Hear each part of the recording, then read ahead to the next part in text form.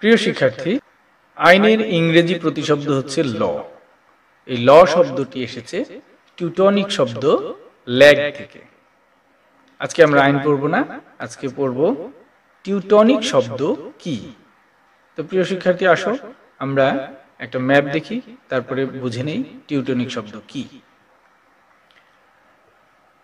টেউটন জাতি ছিল প্রাচীন জার্মানির একটি জাতি। এরা আদিতে কিমব্রির উপদ্বীপে বর্তমানে জুটল্যান্ড উপদ্বীপ। এই উপদ্বীপে বসবাস করত।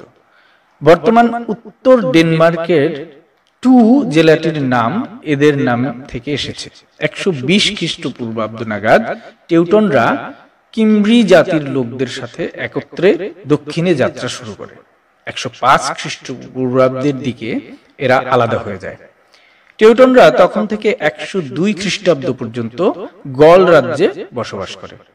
ওই বছর রোমান সেনানায়ক গাইউস মারিউস আকুয়াই সেক্সতিয়াই নামক স্থানে, বর্তমানে ফ্রান্সের এক্স ও প্রোভস শহর, এই শহরে এসে তাদের নির্মূল করেন।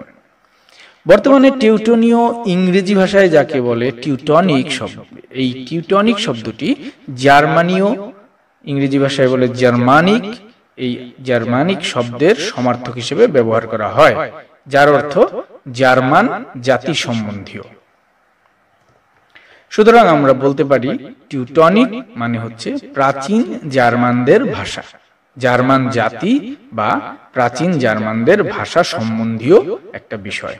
টিউটন জাতির ভাষাও আমরা বলতে পারি।